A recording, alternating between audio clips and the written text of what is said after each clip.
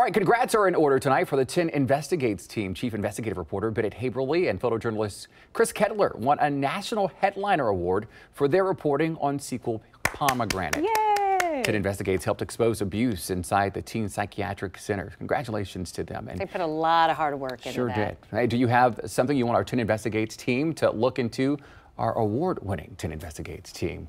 We want to hear from you. You can email us at 10investigates at 10tv.com.